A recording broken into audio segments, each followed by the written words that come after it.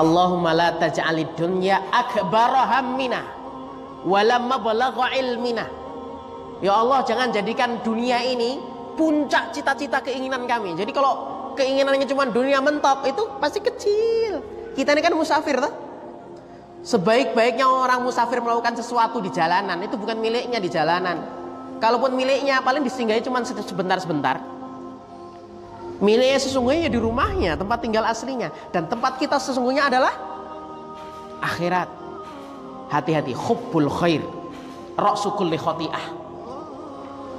Pangkal segala macam kerusakan itu cinta dunia.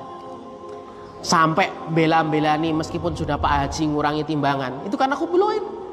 Jadi puncak segala kerusakan meskipun orang punya label apa pun di dunia ini melakukan kerusakan karena cinta dunia. Saya contohkan yang kemarin sekilas saya sampaikan di ujung perjumpaan pekan yang lalu. Surat Al-Hadid kita buka ayat 11. Contoh gambaran orang yang sudah hubul khair itu sampai kayak gini Allah mengatakan kepada kita manusia. A'udzubillahi minasyaitonirrajim. Ketemu? Man Man dalladhi yuqridullaha qardan hasanah. Eh, siapa di antara kalian semua yang mau ngasih pinjaman kepada Allah Subhanahu wa taala? Saya menggambarkan seorang ibu yang telah memiliki anak-anak yang sukses. Gambaran ini contoh kalau orang sudah hubul khair, itu kalau sudah punya harta di genggaman tangannya, maka dia berat untuk melepaskannya karena sudah merasa ini jerih payah saya, keringat-keringat saya, atau kayak korun. Ini karena pinter saya cari duit. Ya, ini karena pinter saya cari duit. Ya, atau mengatakan, ya saya sudah ditrakdirkan kayak tujuh turunan, gitu ya. Ini dari warisan, ini pokoknya sudahlah, gitu ya. Ayat ini menarik, seakan-akan Allah Subhanahu Wa Taala nyindir kita untuk yang sering pelit kalau kita itu diajak untuk beramal soleh. Ibu tadi punya anak sukses, Anaknya sukses semua. Si ibu pinjam sama anaknya. Kalimatnya melas banget. Nak, mohon maaf nak. Loh, sudah ibu minta maaf lagi bu sama anaknya. Mohon maaf. Uh, ngomongnya nggak uh, enak karena ngomong kan? Gimana ya? Kenapa bu? Boleh nggak ibu dipinjami uang 100 ribu saja? Pasti nanti nak, pasti nak. Nanti ibu bayar Kapan bayarnya pasti itu? Waduh, gimana itu ceritanya? 100 ribu ditagihnya kayak gitu. Kapan bayarnya pastinya?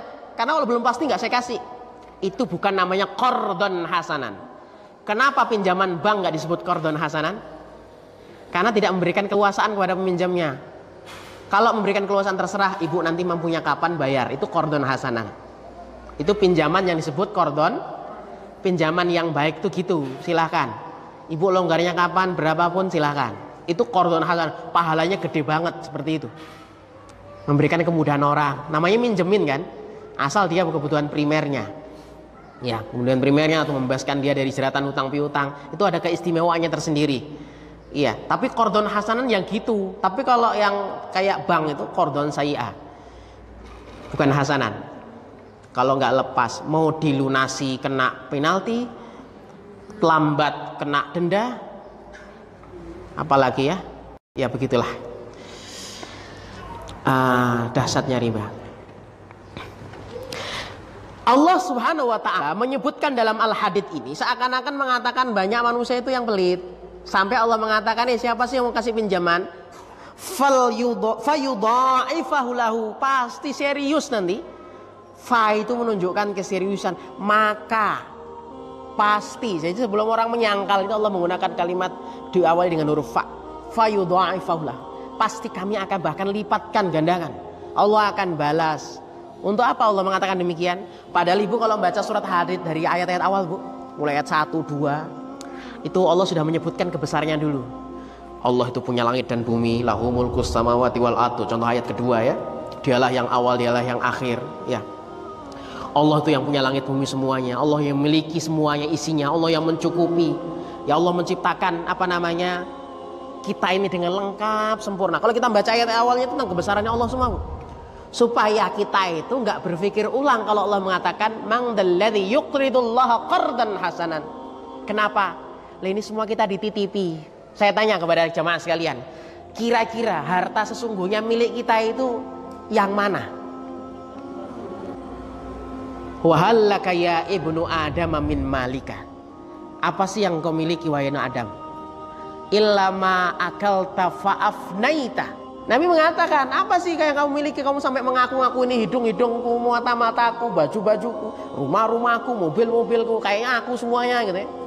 Kamu itu dititipi. Sehingga ketika semua itu pergi, diajarkan kita dalam syariat kalimat istirja. Inna lillahi apa yang kita katakan lillahi tadi? Semuanya yang hilang tadi itu. Nah terkadang kita mengatakan innalillahi kalau meninggal saja ada orang meninggal, saudara keluarga meninggal. Padahal apa saja yang dititipi hilang dari kita, istirja dan minta ganti yang lebih baik dari Allah Subhanahu wa taala. Apa pun yang hilang. Apa pun yang hilang. Kenapa? Kita mengembalikan kalimat itu dimaknai bahwa ini semuanya punya Allah. Dan semua akan diambil kapan saja. Ini pemberian. Innalillahi wa inna ilaihi rajiun. Apa yang kita miliki ini nggak ada. Makanan cuman yang masuk. Berapa berapa waktu itu? Eh cuman masuk sampai sini sudah hilang. Di sini diproses nggak sampai 24 jam mules perutnya ke toilet. Betul. Mau seenak apa pun sendawanya sama. Makan gulai dan makan sayur bening sendawanya sama. Oh, antara Jawa gelegean. Oh, gitu ya. Sendawanya sama. Sampai sini sama. Sampai sini rasanya apakah dalam perut rasanya kayaknya lebih lembut Ustadz? Di perut lembut enak mengaduknya itu pelan. Oh sama aja. Bahkan kalau sambelnya kebanyakan atau apa wah nusuk-nusuk dia susu gitu ya perih gitu ya. Baik. Pakaian cuman sekedar kita pakai. Itu pun usang.